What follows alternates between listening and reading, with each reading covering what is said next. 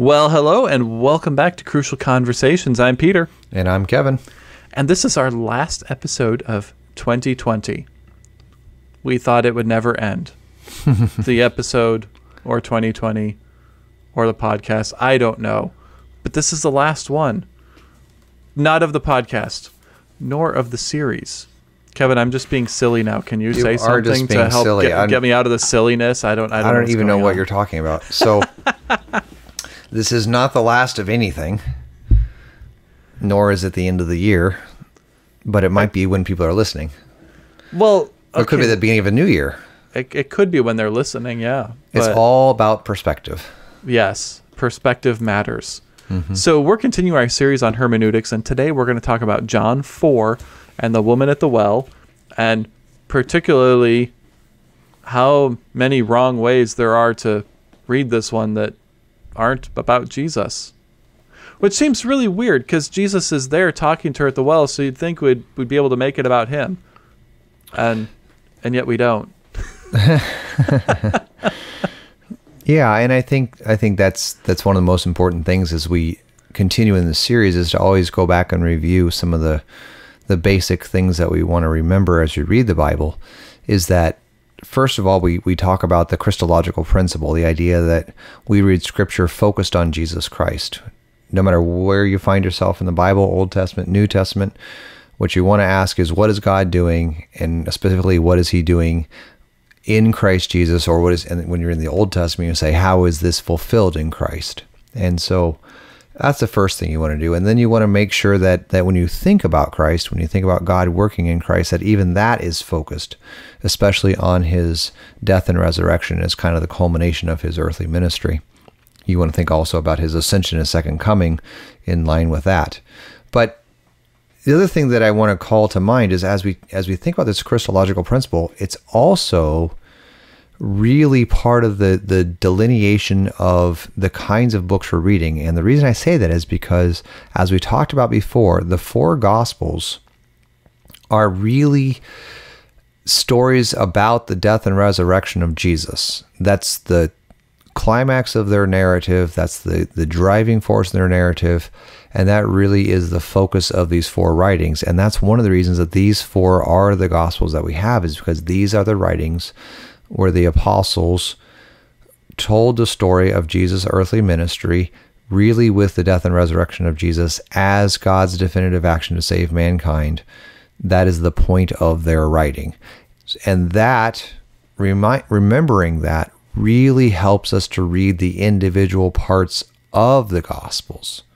So it's not just an overall idea, but it actually then helps you when you're reading these overall or these these parts of the of the overall book, a parable like we did last time, Yep, or yep. a story that we have in John 4 with the woman at the well, or even a teaching of Jesus or a teaching of somebody else.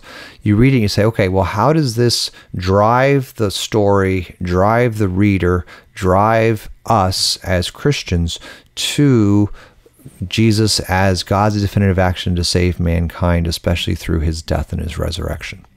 So that's what we're going to work on today as we read John 4 is how do we do that? How do we read this story with these characters, with the, the different narrative events and and continue to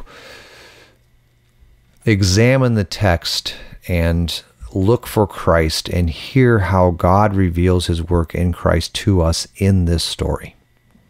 Now, as we mentioned in the last episode, this is a longer account, so we'll kind of be skipping around and reading excerpts from it. But if you're just getting into this this podcast episode, it would be good for you to sit down yourself, pause if you're in a place where you can pause, and actually just read through the account so you have it fresh in your mind. Uh, because we won't be doing that in this episode simply for the sake of time. Watch, I say that now, and then I bet with the excerpts we end up reading like most of it anyways. Yeah, we will. We'll read. However, it's always a good practice for you, listener, to take a pause and read the scriptures that we're about to be talking through yourself. So that way you can hold us accountable too. You know, Right. it's like, oh, they're they're a little bit crazy there. Where did that come from? All right, Kevin, take it away. So, without reading the entire story, we know the story of Jesus and the woman at the well. uh, or the Samaritan woman at the well, depending how you want to title this little story. But it, it really is the story of John chapter 4, beginning at verse 7. And it goes in many ways through uh, verse 42. So um, there's a little bit of discussion with the disciples in there, but but for the most part, the story of Jesus and the woman at the well, the Samaritans, goes from John 4 7 through John 4 42. So it's a long story. There's dialogue. Um, Jesus and the woman have a little discussion. There's also dialogue with Jesus and his disciples. There's dialogue that we don't get to hear between the Samaritan woman and her the people that she lives with in her town, so her townspeople or her fellow Samaritans. Mm-hmm. So there there's a lot going on here. There's some discussion that that is almost comical in its misunderstanding. There's some discussion that's surprising in the answers that Jesus gives, and there's some conversation that um, is quite shocking for for a reader of scripture. Maybe the first time you've come across this story, and Yeah. Maybe you're not expecting this to be in the Bible, but there it is. Yep. Which which is also part of us reading um, scriptural narrative, and we'll talk about that as well. So so the basic premise is this: is that Jesus is. I mean, I said it starts verse seven, but the the it's set up really in verse five. So he's he's passing through Samaria, and he goes to a place called Sychar, which is near a Jacob's field that he gave to Joseph. And there's a well there, and jo- and Jesus is tired, which is again a very interesting notion to think about with Jesus. He gets tired, and so he's sitting there beside the well, and it's about the sixth hour, which don't worry about the timing too much. and and then verse 7 is kind of the the conflict of the story. There came a woman of Samaria to draw water, and Jesus said to her, "Give me a drink." So right away you have conflict set up between the idea of Jews and Samaritans, with Samaritans these people that Jews don't associate with normally, considered them uh, syncretistic because they worshipped false gods kind of in concert with their worship of Yahweh. Um, they actually had a different version of the Torah they read. They worshipped on a different place than the Jews. Their Yep. history was kind of a, a mixed breed kind of people where they, back in their past, there was some intermarriage due to the Assyrian um, exile and, and conquering of their nation. So, so Jews and Samaritans didn't really associate very well, and then you have um, a Jewish man and a Samaritan woman um, at this well, kind of having a conversation privately, which causes some other questions of propriety and and Yeah, that's not something you would normally do. right whether or not this is this is the proper thing. So then, on top of all that, you have the woman of Samaria who goes there to get water for herself, and Jesus says to give him water which is a little weird. And then it just gets even weirder.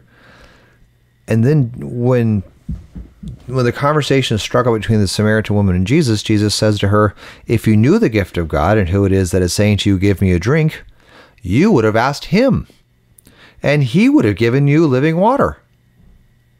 And, And, she's like, "Great! I never have to come back here." well, the first thing she says is, That doesn't make any sense. Right.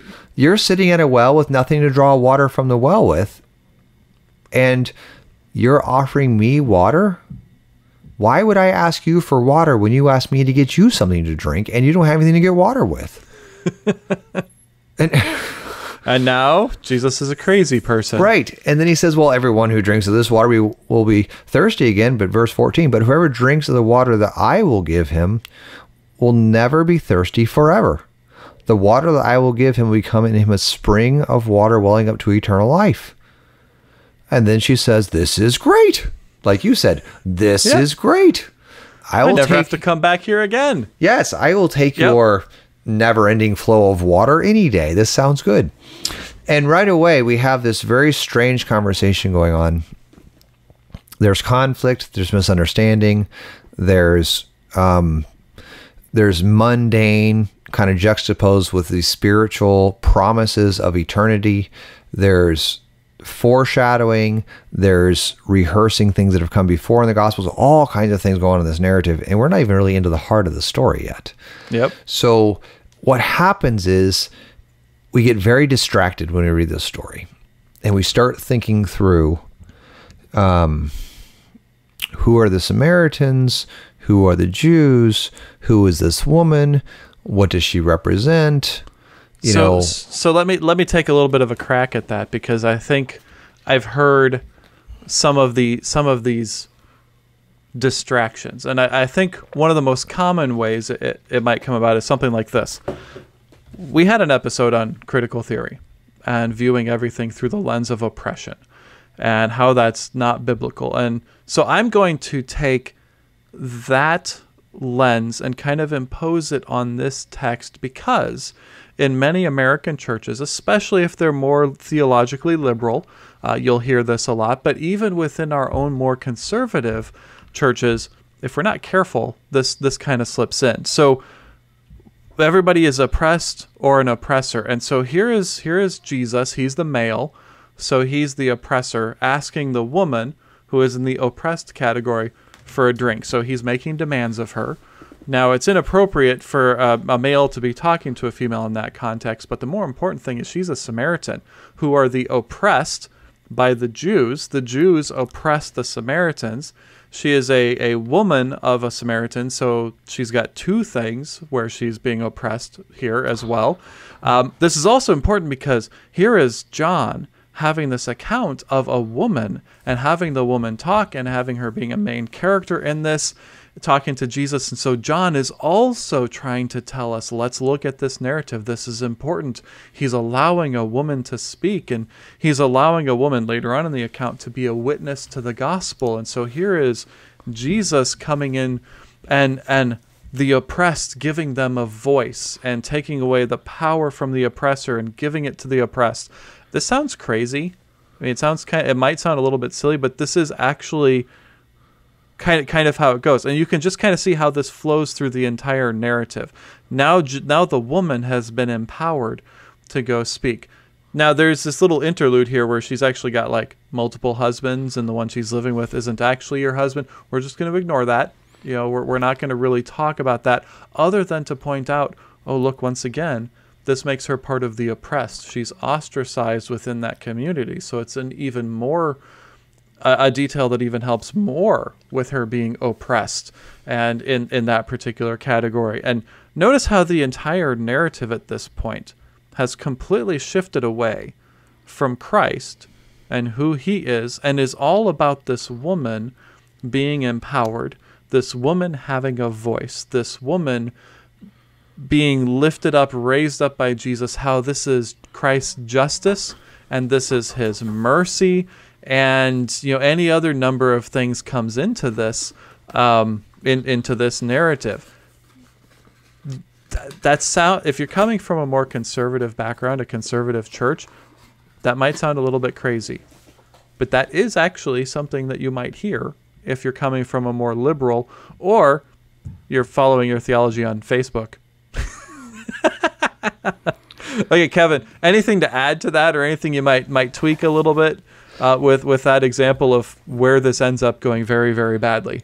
So that's right. So what happens a lot in these in these um, interpretations or these readings is that we concentrate on these minor characters and make them really the focus of the narrative, and then we pretend that what the what the scriptures is teaching us is kind of how Jesus treated these people, the outsiders, the oppressed, the the minorities, whatever you want to label them, and we pretend that the message of the New Testament is that Jesus really treasured these people when other people don't.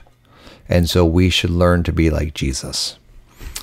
and we like I said, we certainly do want to acknowledge that there is a conflict in Jew and Samaritan here, but we don't want to minimize.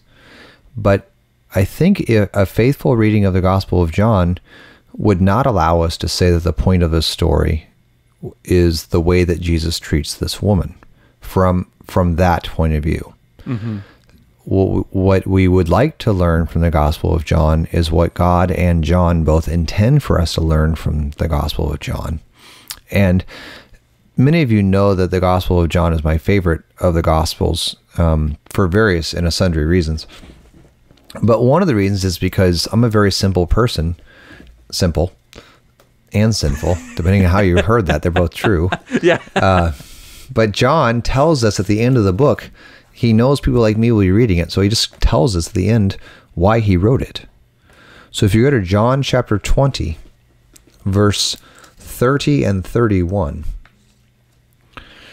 this is the, the author of the book telling us, the reader, exactly why this book was written and how we are to read it. And we've referenced this passage in multiple podcasts too. It's and we'll just one. keep doing it. Yeah. So- need to. it says, Now Jesus did many other signs in the presence of, of the disciples, which are not written in this book.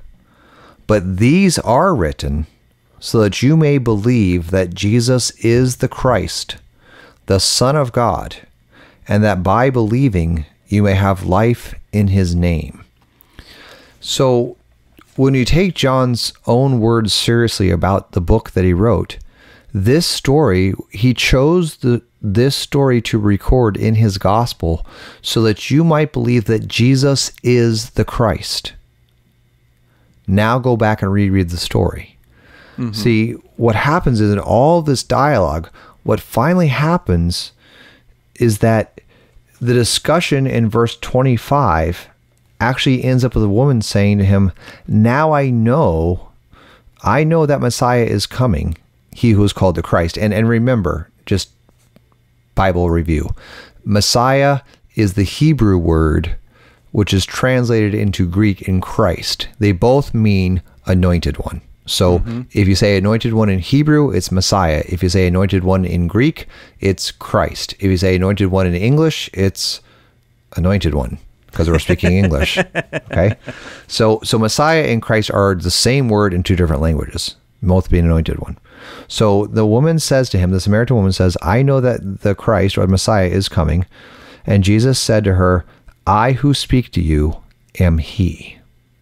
And this is really the point of the story is that Jesus is revealed as the Christ in this story, as the promised Messiah. And when we understand that that's really the focus of the story, what we'll see is that there's there's other revelatory statements in the story that help us understand what's going on in the gospel.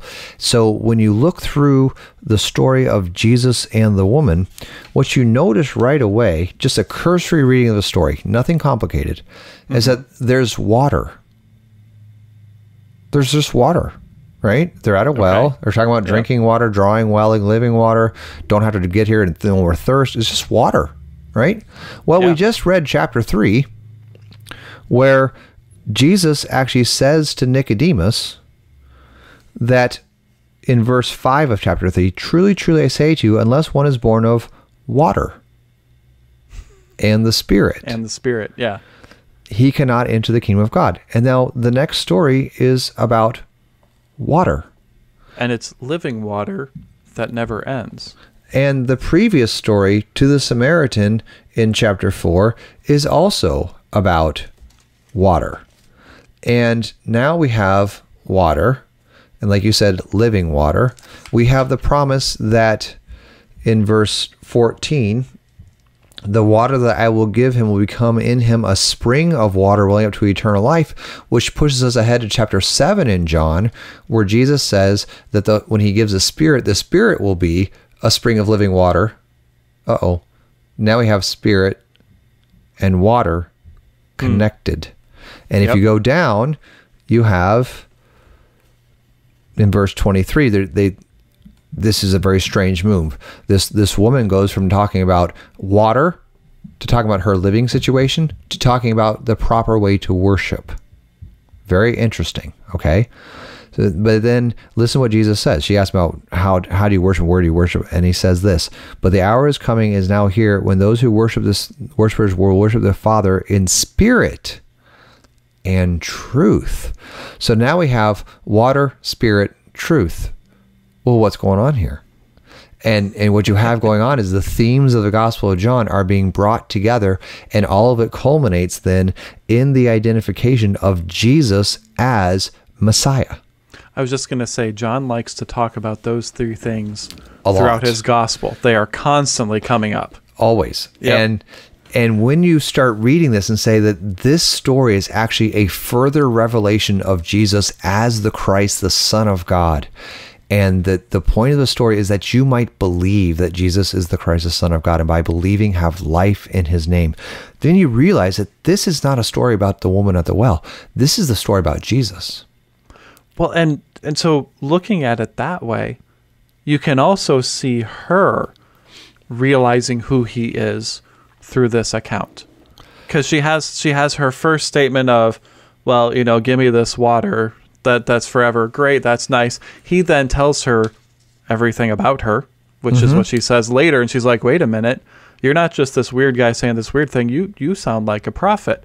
Well, I'm going to ask you about this worship thing. Let's talk about that. And his answer to that further reveals to her who he is.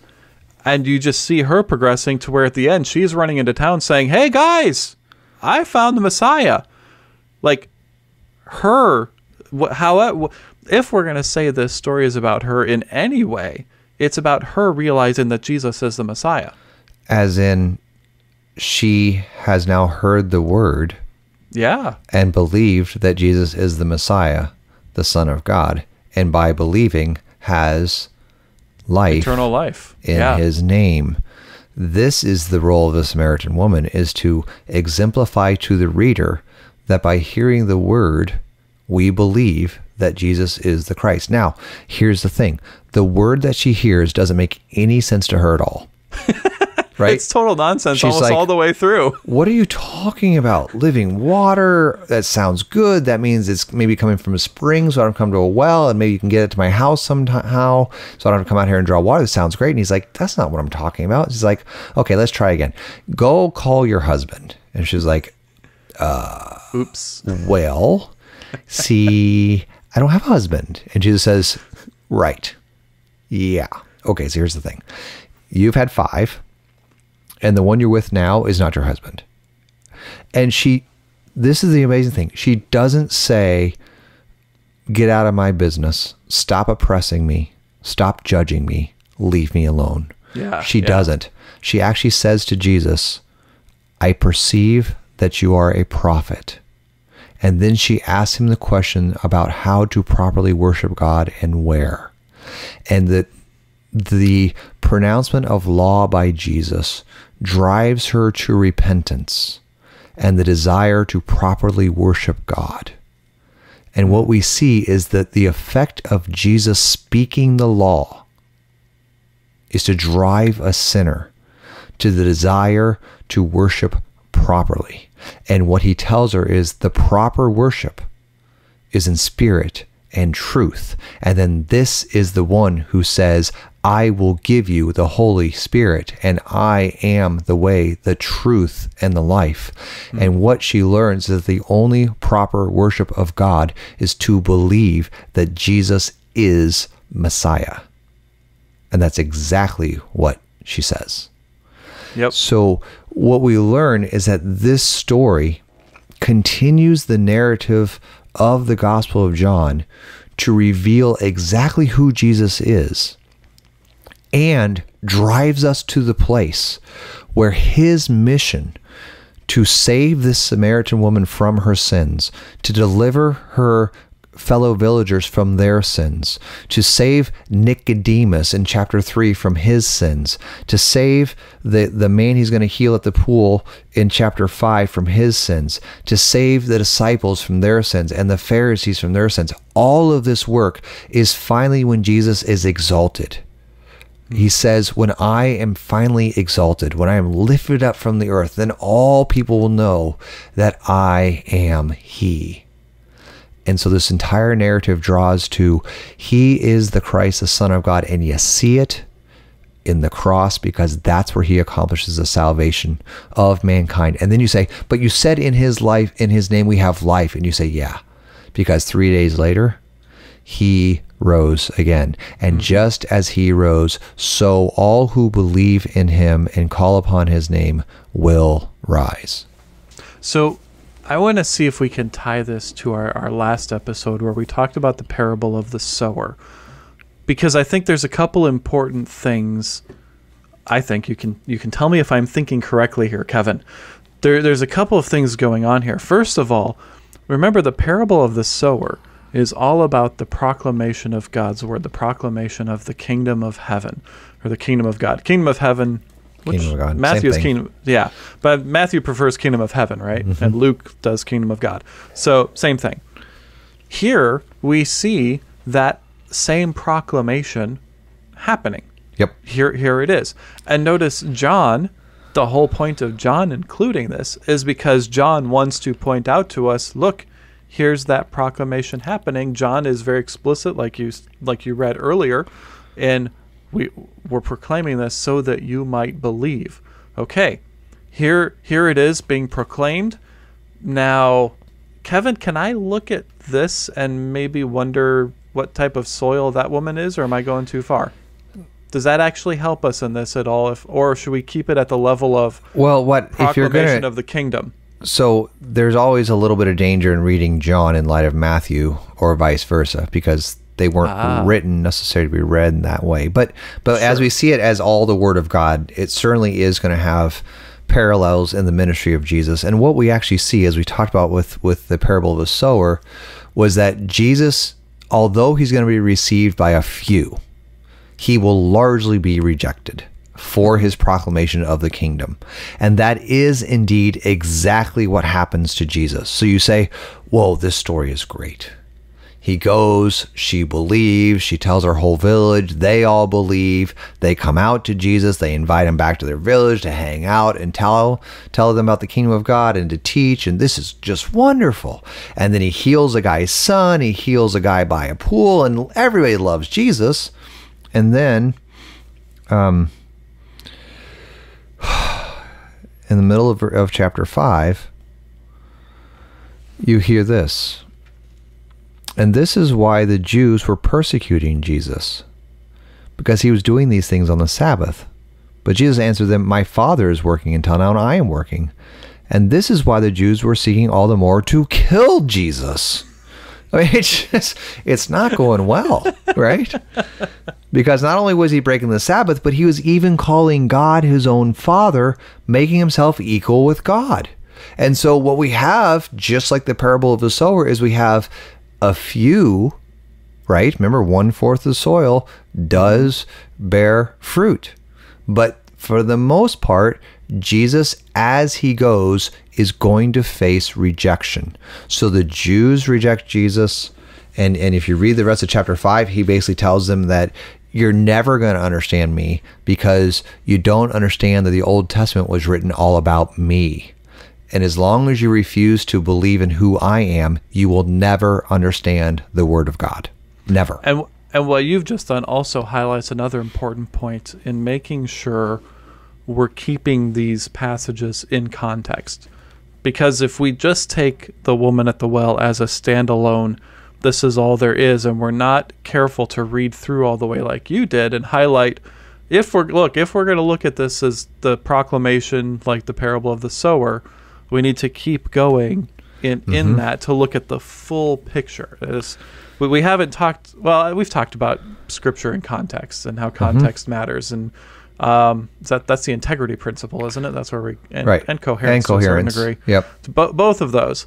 But the the point being, so maybe I might have had a little bit of a point, but even in that, it's easy to completely go wrong if I'm not careful to not just follow the Christological principle, but here's the coherence and integrity principles. I can't go too far off with those, or I actually begin losing the Christological principle because once again, I start focusing on the soil and the Right. and the quality of the soil And the It's like, quality of the ah! soil. And- and we know how hard a time I had with that last last episode. and what we want to, really want to do, and the commonality that you are pointing toward is is the correct one. That the real commonality is Jesus as the one who is speaking and enacting the kingdom of God through his earthly ministry, What which is culminates God doing? exactly Back to that question. What is exactly. God doing?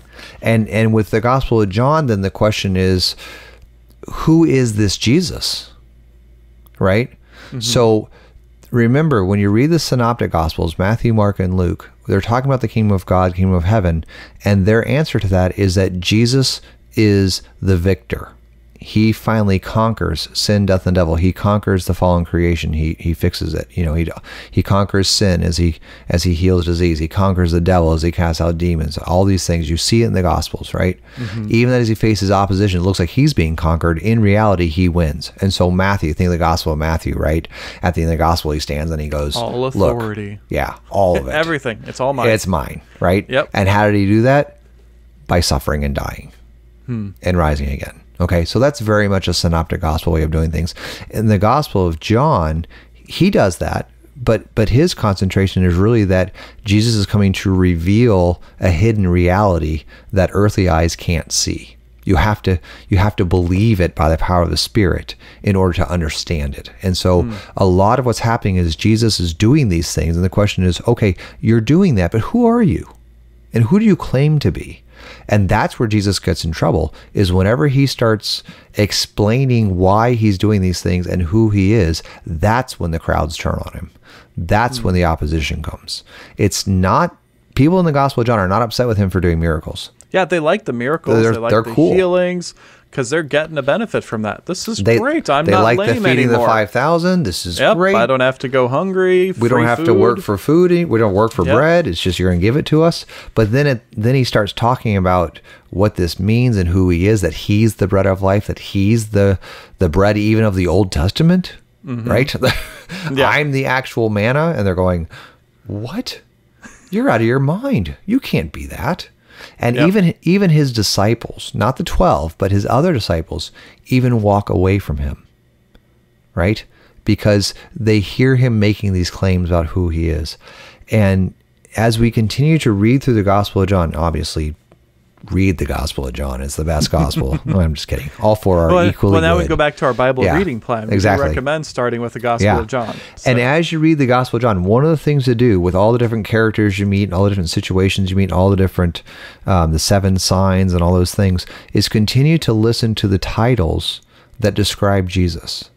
And you hear Son of Man, Son of God, Messiah, which again is Christ, Mm-hmm. um, the King of Israel, and all these things. He's he makes himself David. equal to God. All these things keep piling up in the Gospel of John, and and as you get to the end, then remember John says, "I wrote these things that you would believe that Jesus is the Christ, the Son of God." And here's John's point: and by believing, you get life. It's Yeah. not by emulating him. It's not by going out and saving the the oppressed. It's not by learning to treat people the way he treats people. That's not the point. The point is believe. Believe in who Jesus is and what he did on the cross for you. And in that you get eternal life. And when someone says, well, you know, the woman at the well is a story about oppression and freeing someone from oppression, and we, we want to acknowledge without any hesitation that, that this is certainly an amazing text where a Jewish Messiah saves a Samaritan sinner. I was going to say we, we didn't talk about this, but part of that proclamation theme is that it is for everyone. Right. It's not exclusively for the Jews. Now, Jesus will talk at times about I'm starting there. Yeah. That that's where we're starting. But this is a very clear example of uh, we're not keeping this to ourselves. This this will go to everyone. And But- like you said at the end of Matthew, he explicitly says, "Go everywhere. Go everywhere. Tell everybody." all the nations. and so what happens is that she's not singled out because she's oppressed. She's not singled out because she's a Samaritan or a woman. She's actually singled out because she's a sinner. Hmm. And she's a sinner for whom Christ came. And this is the amazing news of the Gospel of John and the other Gospels and Paul's writing and even the Old Testament when you read it properly is that this God who loves so much that he sent his son to die and rise for the sins of the people, this God loves. And don't forget that the, the Bible verse that everybody knows so well is actually in the Gospel of John and is actually Hey, in the in the previous chapter. chapter. Yep. That's right. Where it says, For God so loved the world. And so the question is, does that world involve a Pharisee who is the teacher of Israel who comes to Jesus at night with questions? Does it in, does that world include Nicodemus? Hmm. Answer, yes. Yeah. Does that world include John the Baptist and his disciples? Yes. Now, does that world include Samaritans? Yes. Yeah. And even a Samaritan woman who has not made very good choices. Yeah. At least at least in one area of her life, right? Bad, bad now life let's choices, as I tell my kids. let's not label her as any worse than me Sure. because we know the bad choices she has made in one area of her life. We are all sinners Yeah. who, if we were sitting with Jesus and he was talking to us, he could easily look at us and say, Why don't you go do this? And we would say, um, Well, you see, I haven't made the best choices in that area. So I think once again, what you've done there has been very helpful with, if we're going to talk about the integrity principle and the coherence principle, help us helping us focus back on that Christological one. Is once again, let's put that in context with the world, and then we can see these examples of who is included in the world. Because one of my one of my thoughts was, well, Kevin, this makes this passage kind of boring. We've taken all the all the fun stuff out of it, all the controversy out of it. It's just another passage that talks about, you know, Jesus and, and the proclamation of his kingdom, which my my very next thought was, ooh, that's that's kind of a response of unbelief. Well, if I think that's actually boring, see, here's the thing. if You- I think that that's taken the life out of the passage because I don't get my controversial details anymore, uh, that's well, now we're showing my areas of sin. Well, I know we're at the end of the episode, but just to Yeah. just to whet your appetite for reading the Bible, there there's more fun stuff to read when you read it correctly. and the amazing thing is when you read this story and you realize that this is a scene at a well that discusses marriage, you start realizing that this is actually something from the Old Testament where Moses met his wife at a well. Wasn't this actually Jacob's well? Jacob met his wife at a well. And this is actually a reference to Jacob's well. And you go back and you read the Old Testament and you say this when people meet at a well, we're going to soon talk marriage. And what hmm. happens with Jesus and the Samaritan woman is we're soon talking marriage. And then you say, well, why is that important? You say, because marriage in the Old Testament is a metaphor for worship one man, one woman, one God, one God to worship. And when you hmm. start messing up marriage and having too many wives or not or not being faithful to your husband, then you are actually guilty of idolatry. And this is exactly where the conversation goes in John chapter 4. We have a well, we have conversations about marriage, and we have conversations about worship. And, if you want to get even more exciting, you go to Revelation where, oh, look, John has conversations about marriage and conversations about worship. And these are huge pictures Huge that he pictures. uses in the book of Revelation, which is also what he wrote, which is, as he starts off, the revelation of Jesus, Jesus Christ. Christ. So, okay, yeah, that's, we, we should probably stop or we'll just keep going. Yeah, well, it does keep going because then you then you think, okay, now we have marriage and worship and syncretism, which I said is the worship of, of many gods, not just not just the true God.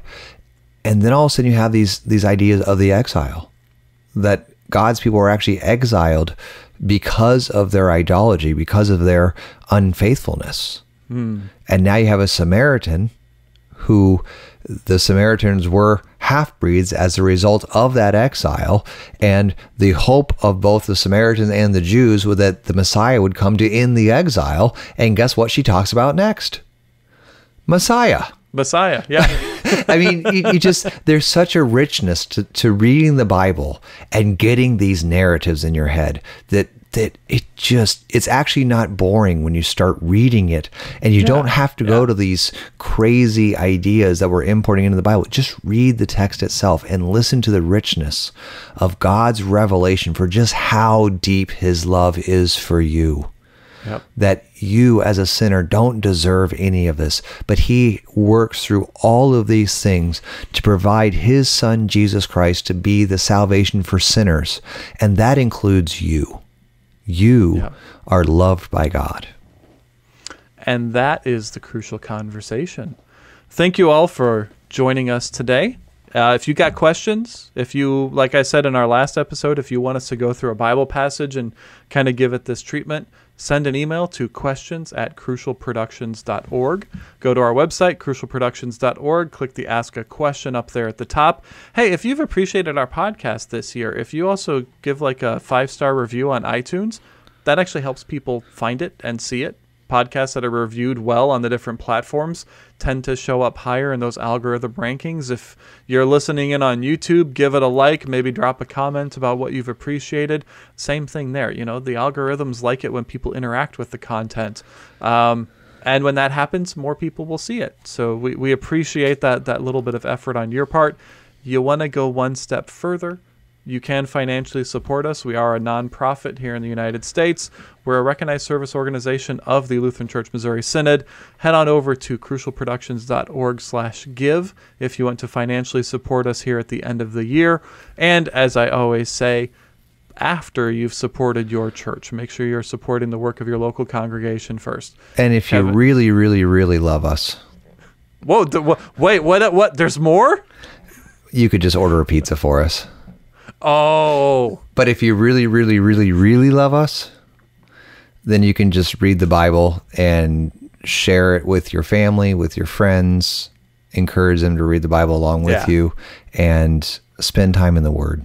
Our our favorite comments are the ones where I, th- I think one of my favorite comments so far on any of our stuff is on the Habakkuk and 5 video that we put out, where one individual said, I was always scared to read the Old Testament. It was confusing. I always get it wrong. But now that I've seen this video, I just want to go read Habakkuk now. I'm, I'm, I'm Yeah, excited to get exactly. into that. That is still one of my favorite comments on anything because that's what we want to see happening with, with what we're doing. So oh, I, I'm hoping after the last episode you went back and read the parable of the sower. And and this episode, if you didn't pause it and read John four, that once you're done, you'll go out and read John four as quickly as you can, and three and five, since we showed how they all fit together. Mm-hmm. Just, So- just keep reading the whole gospel. Might yeah, well. well, you know, but it, yeah, yes, that. I was going to give a caveat, but I'm like, wait, you can't give a caveat to that. There's That's right, that just read it. Doesn't work. All right. Well, thank you guys for joining us here in 2020. We'll see you guys next year. See ya.